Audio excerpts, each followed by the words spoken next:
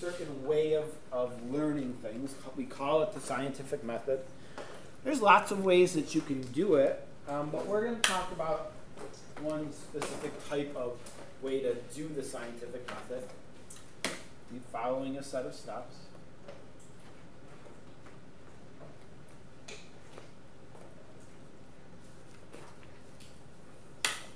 So you have some vocabulary. There's some vocabulary that you um, will need to know in this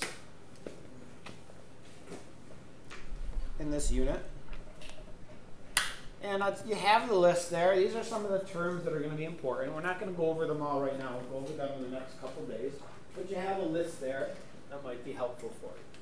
But before we talk about this much, let's think about an example. Let's think about a student wanted to determine if the effects, wanted to determine the effects of different colored lights on plant growth. So she set up an experiment. She grew two plants under the conditions that are shown over here in this diagram. All right, so this is how she set up her experiment. Two plants with all of these conditions. And then at the end of the experiment, plant number one it grew 10 centimeters. Plant number two grew 5 centimeters. And so she made the conclusion that plants grow better under red light. What do you think about her conclusion? Is that a good conclusion based on how she set this up? What do you think, Sophia? Um, no, because plants don't just grow Okay, she gave him some water though. We got water. Any other ideas, Lily? Well, they're like different kind of plants. Would that interfere with the experiment? Maybe. Anything else? Frank? What about it? Well, one sixteen, uh, different, one. Yeah, that's different as well. So, yeah, plant one grew 10 centimeters. Plant two grew 5 centimeters. But they got different amounts of water. They are different temperatures, like Frank said. So let's go on here. So yeah, this isn't a, a good experiment. We can't be confident in her conclusion.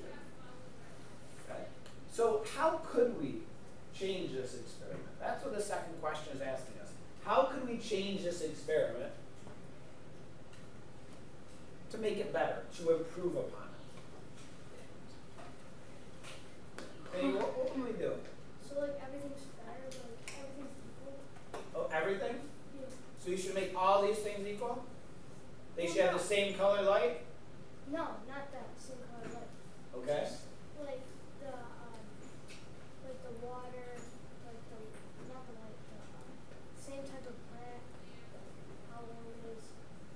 Yeah, you're exactly right. And that to do this experiment properly, we want the light to be different. Okay? We want one to be grown under red light, one to be grown under blue light, because that's what she's studying. But like then he said, every other factor, we call those things variables. Every other variable, we should have it the same. The same temperature, the same water, the same amount of time they're growing, and the same type of plant. Then we have a better experience. Go ahead, fill that stuff in, please.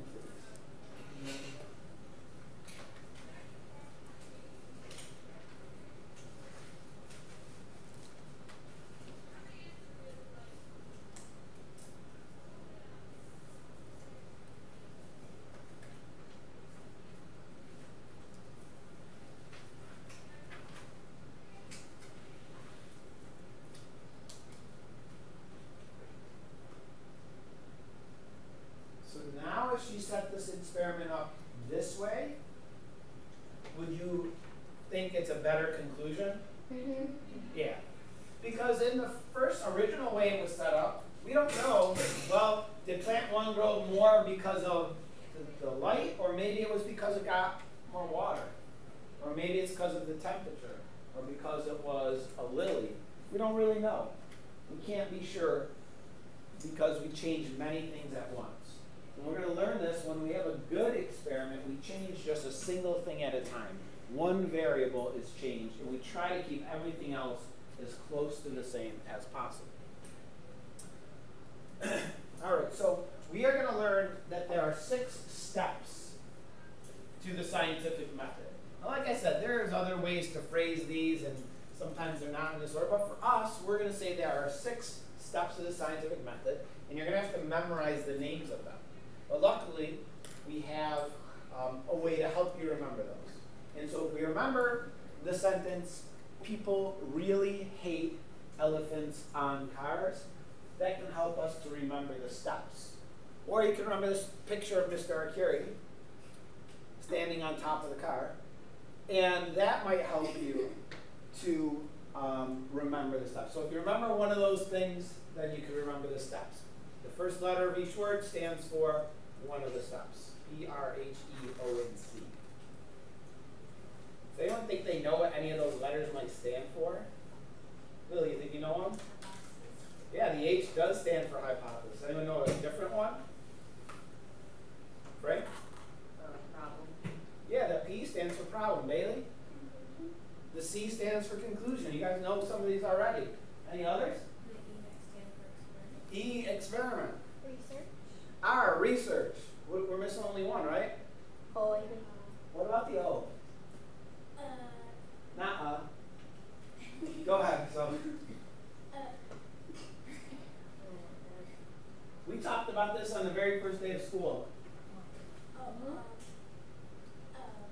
um, oh, I know it. I'm gonna move on, Rania. Observation. Observation. Yeah, I knew that. So those are our steps of the scientific method. Go ahead and write them down. Problem, Oh, yeah. research, hypothesis, experiment, observation, conclusion. Those are the steps of the scientific method. And like I said, you are going to have to remember them.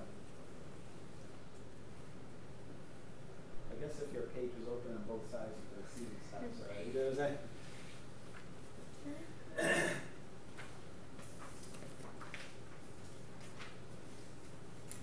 Oh, it says it right here. too. Yeah. So if you remember the sentence, you remember the steps. but not only will we have to know what the steps are, we have to know sort of what they mean. So I know you've heard some of these words. Others might be new to you.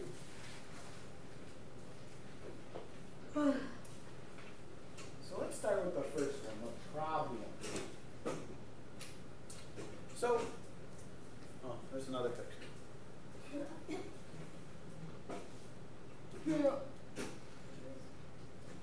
The problem. So when we start off and we're trying to learn some new information, scientists start with a problem. And in this, the problem is a question that we're asking. A question that we're asking.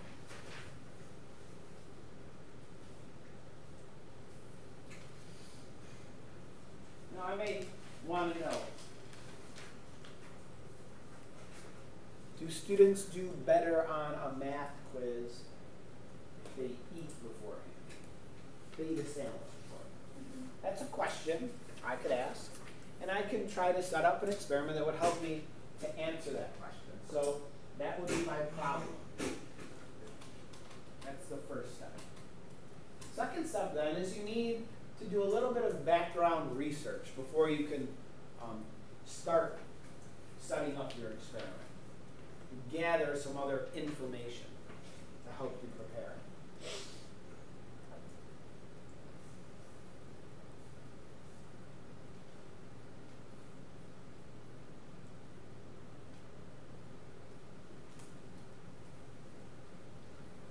For example, I may have to find like a math quiz that I can give everybody appropriate and difficult.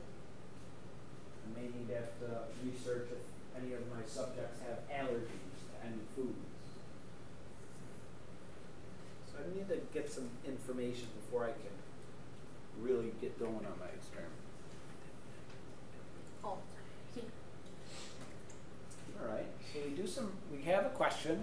We research it a little bit, and then we can come up start to work on our hypothesis.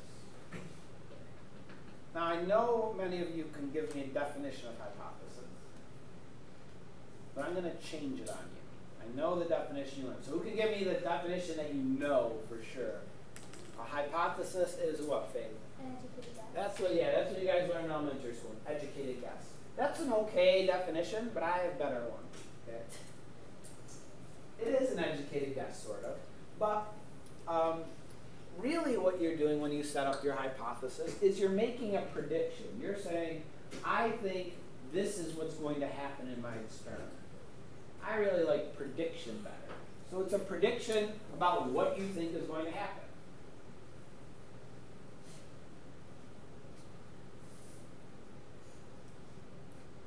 That's what your hypothesis is, your prediction. Before you even do your experiment, you sort of guess as to what the outcome is going to be.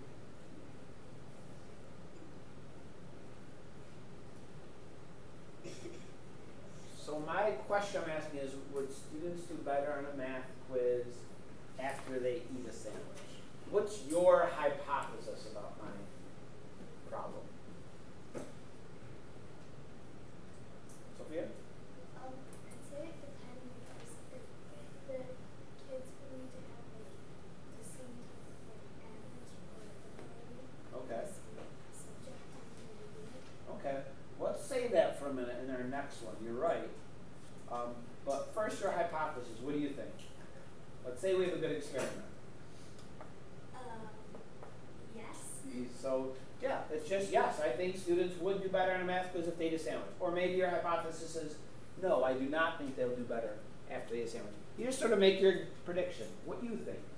And it's okay if it's wrong. Doesn't matter. You don't go back and change it when your experiment's done because you still learn some valuable information even when your hypothesis is wrong. Okay, so we have our prediction. Well, somehow we need to test our prediction. We need to see if our hypothesis was correct or not. And that's what the experiment is. The experiment is some kind of procedure, some activity that you do to see if your hypothesis is correct or not.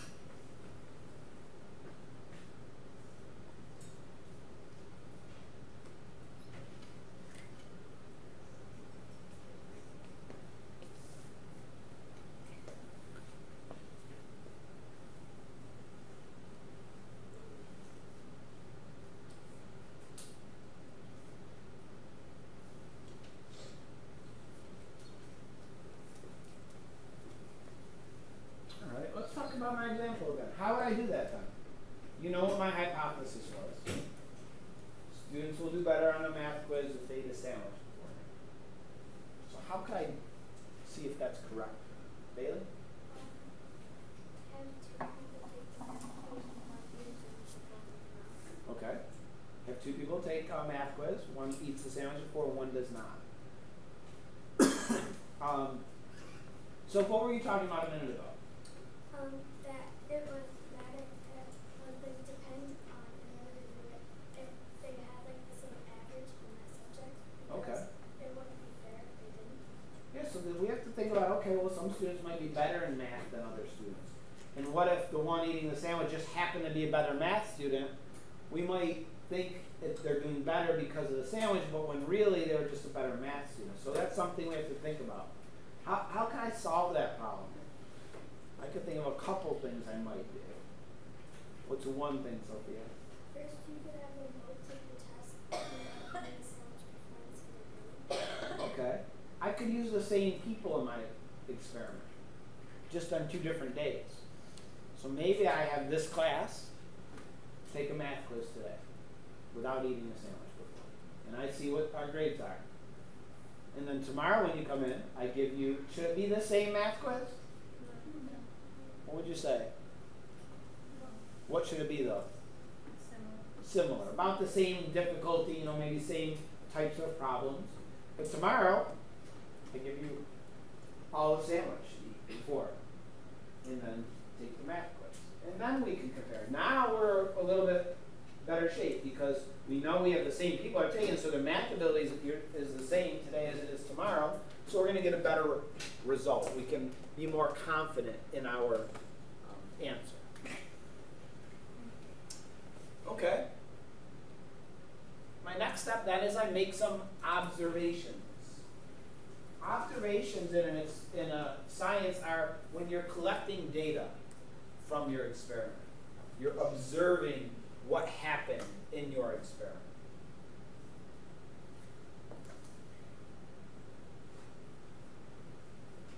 What kind of data do I collect in my experiment that I'm talking about? What would be the data, Frank?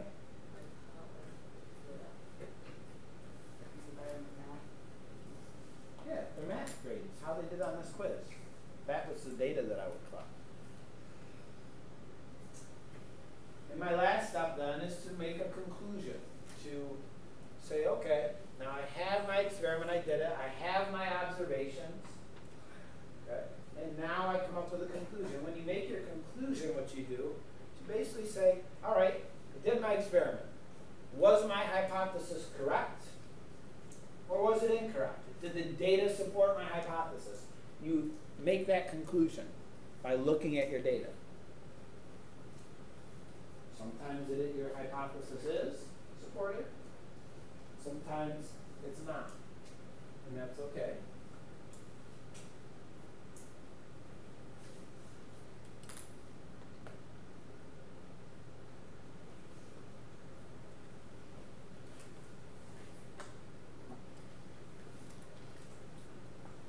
Say in my example experiment that the grades were the same on both days.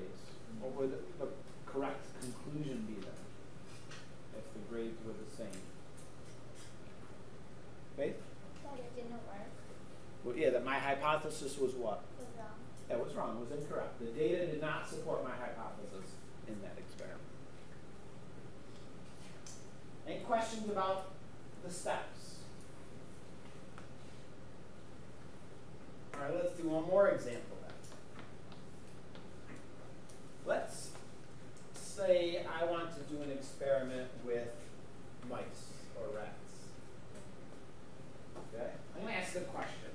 That's my problem. The question I want to ask is Do mice grow larger if they are given vitamin C? That's a question I could ask. That's a question that I can set up an experiment and answer that question.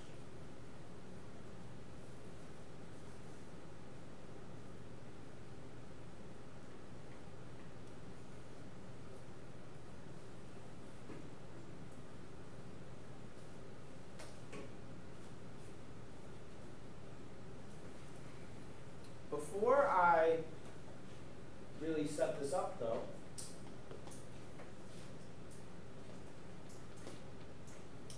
I need to do some research.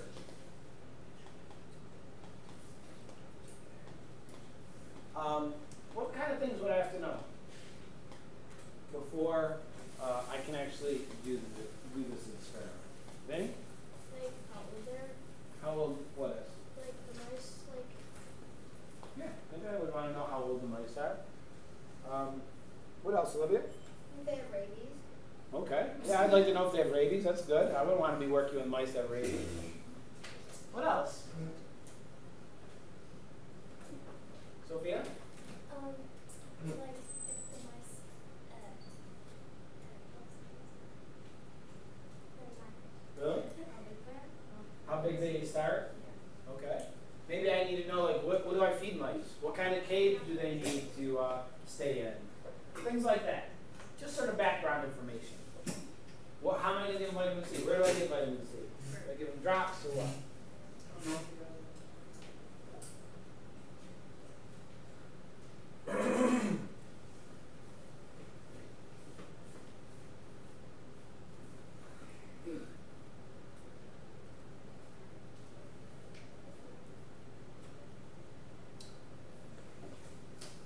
So those are all little pieces of information I want to know in advance. Okay. So now I need to make a hypothesis. Somebody give me a hypothesis about this experiment. What's a, a hypothesis you might have?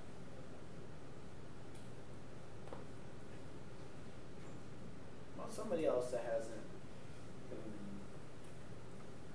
I heard from you a couple times, Bailey. Anybody else? Your hypothesis. The question I'm asking is, do mice grow larger if they're given vitamin C? Ryan, what, do you think? What's your hypothesis?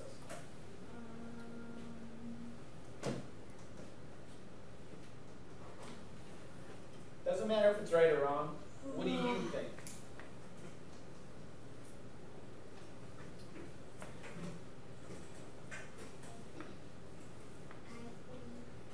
mice would. Would grow larger? Okay. That's Ronnie's hypothesis. How many people that's your hypothesis? You think mice will grow, if mice are given extra vitamin C, they'll grow larger? Ron, yeah, I know. Okay, couple? Just a couple of you? Everyone else thinks so? Okay. So, that's up to you. Some of you have, you could have different hypotheses, that's fine. If mice are given extra, then they'll grow larger. Or maybe you think if mice are given extra vitamin C, they will not grow larger. It's up to you. You come up with your own hypothesis there. But again, this is what we're going to test. This is what our experiment is set up to test.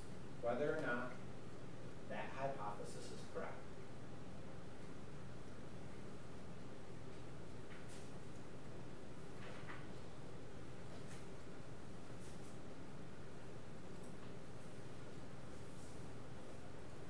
How would I actually do this experiment? What would I do?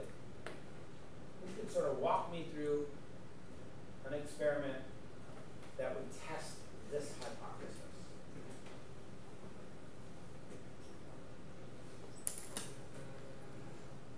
Frank?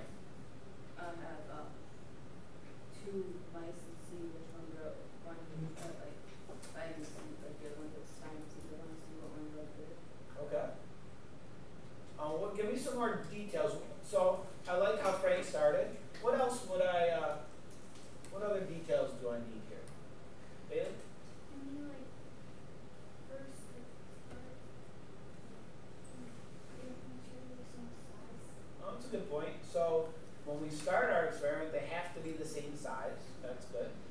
What else, Sophia? So just make sure you give them the same amount of vitamin C. The same amount? Okay, let's say I have my two mice. I give them the same amount of vitamin C. Oh, I mean one. Wait, never mind. Okay. Hey? You have to give them the same amount of food and water. Yeah, that they would have to get the same amount of food and the same amount of water. I have to keep that the same. What do I want to be the only difference, Sophia? The vitamin C. Yeah, that's going to be, hopefully, in my experiment, the only difference is that one's getting extra vitamin C and one is not. Okay, so mm. now let me say this.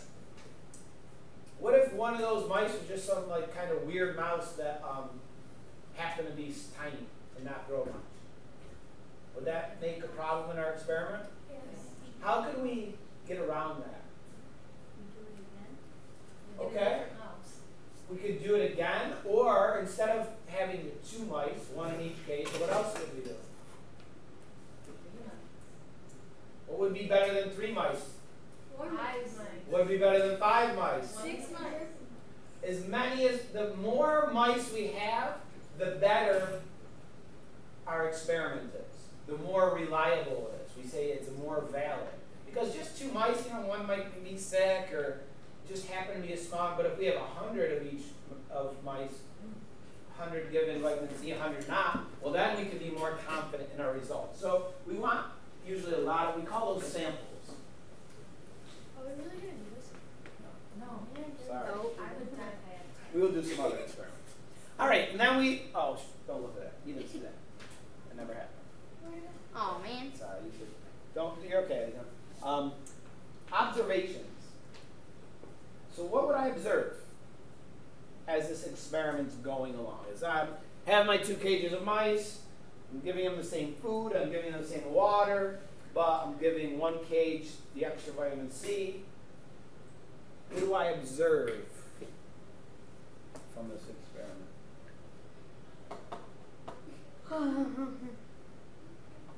How about someone else? I've heard a lot from Bailey and Sophie. And Faith. And Lily. Somebody else. So what would I observe in this experiment? So I got my two cages of mice. It's been a week, and I want to know, okay. Big? So what am I going to observe? Like what exactly would I measure? Their size. How? Could, what about size? Like that's not that specific. Like, uh, I get a tape measure. Yeah, maybe the length of the mouse. Maybe what else could I um, do, Brennan? Their weight? Maybe the mass. Good. Yeah, those are things I can measure. Here in my example, I said weight, but length would be fine. I weigh the mice after two weeks, and let's say my observations are that the vitamin C mice weigh the same as the non-vitamin C mice.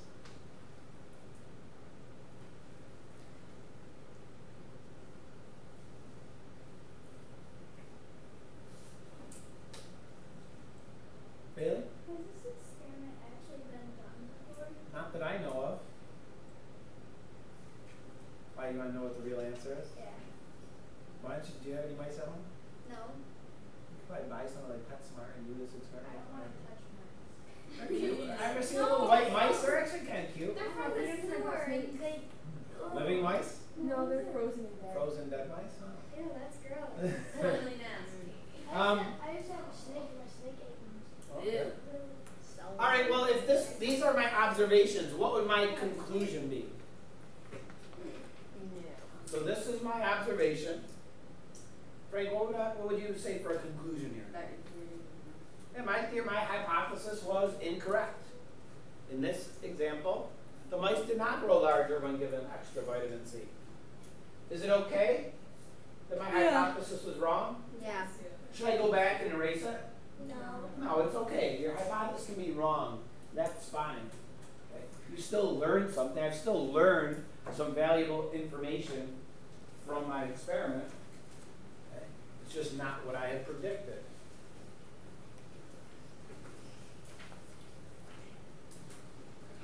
Okay, Sway. He's the man. Sway. Again. so why is Mario here? Because he is awesome. He is pretty awesome. Although I'm, I'm more partial. To Yeah, Lu- I I'm more don't partial to Luigi myself. Um, no. He's a star. What? He's a star, that's why. So, do you guys ever Yeah. use the scientific method? No. Not really. When's the last time you sat down and wrote out your problem, research, hypothesis? Last year. Yes, in science class probably. All right, so, but that's not the question I asked. Do you ever Yes. do the scientific method and maybe not formally write it down and think about it this way? What would be an example of you doing an experiment? I've heard about that. Playing like Mario Kart and saying you're gonna beat your friend when you don't. Okay, let's go. a little- Let's let's use Mario Kart as an example. Okay. Um. So, your hypothesis. We need to have some variables there. So, what is a hypothesis you could test? Not just that you beat your friend, because your friend might just be better at Mario Kart than you, right? So let's let's go a little bit farther. You're onto the wall. Okay. All right. Well, I need couple groups here and stuff. Sophia, That Mario is better than Luigi. how would you do that? Uh, Because he beat Bowser. How would I set that up? you, uh, you could like do it like I don't know have like a computer do it like I, I don't Okay. Bailey? You could play one round as Mario and next round as Luigi. Okay. So maybe you have the same person, right? Because you want to be the same ability at Mario Kart. One round you use Mario. The next round you use Luigi. What do you have to be sure? Should you do? Um, you have to be sure. Do you want the one in space, and then the other one is the desert track? I, forget, I don't know what they're called. I did too. I always fall. Me too. Yeah. So no. What do you have to do, Sophia? You have to make sure um, that you have like you do the same course and you ride it in the same like you use the same car. You need the same track. What's the star one called? I. Rainbow Road. Rainbow Road. So you want to do them all on Rainbow Road. You want to use the same car. You don't want to use the 25cc car one time and then the 50cc car the next time. You have to use the same car. Um, what would your hypothesis be? Whose hypothesis is that Mario would win? Wow. Luigi? Yeah, one thinks the same? Does changing a little character change how he races? I wouldn't think so. I don't know. I'm not sure about that, but you can conduct that experiment at home if you want when you get home this weekend. That can be your task. So yes, my point is we do use the scientific method all the time. You just don't really think about it. You know, maybe you play a sport. Um, maybe you play soccer, and you want to know well, if I strike the ball on this side of the ball, how does that affect the path of the ball. And you may do it several times. You have your hypothesis. If I strike the right side of the ball, it'll bend to the left. And you have that hypothesis. You try it out in an experiment. You observe what happens, and you're really at starting. All right, see you later.